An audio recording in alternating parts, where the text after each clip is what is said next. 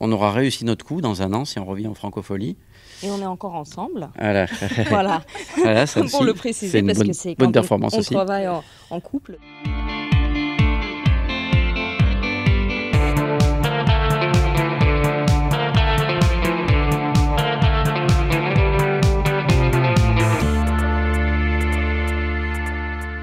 Alors les francophonies de La Rochelle, c'est pas uniquement de la musique, c'est aussi du cinéma, du cinéma musical. Et là, nous allons assister à la projection du film La Symphonie du temps qui passe. On va voir, c'est un film un petit peu engagé. Allons-y.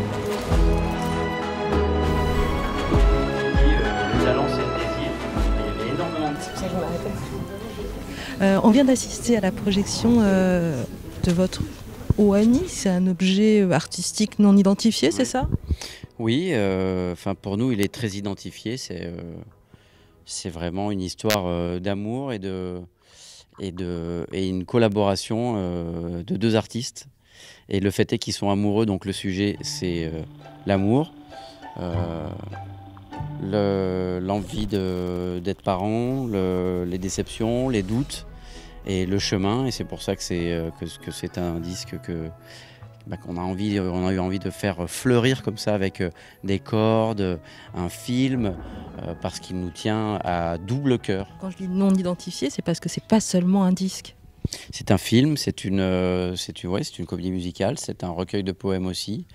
Euh, ça va être un concert, euh, mais le concert, ça sera pas du tout un concert comme je peux le faire avec Dionysos. C'est plus proche de la pièce de théâtre euh, ou de la, mi- de la comédie musicale escamotable avec de l'image, des choses comme ça, et euh, où on va être les deux personnages principaux.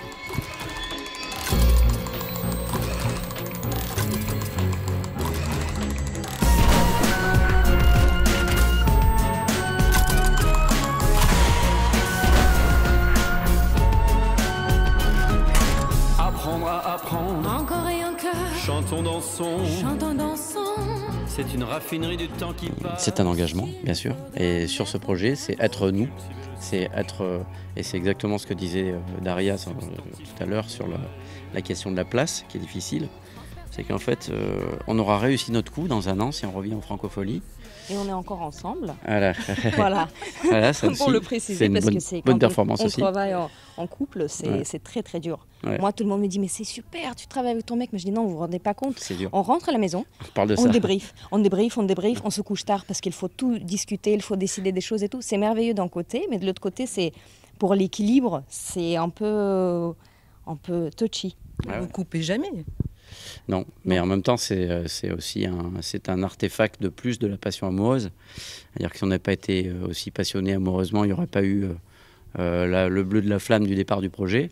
Donc après, effectivement, il faut travailler. Il faut travailler pour pas que la flamme s'éteigne, comme dans un potager, comme dans un couple, comme dans une famille.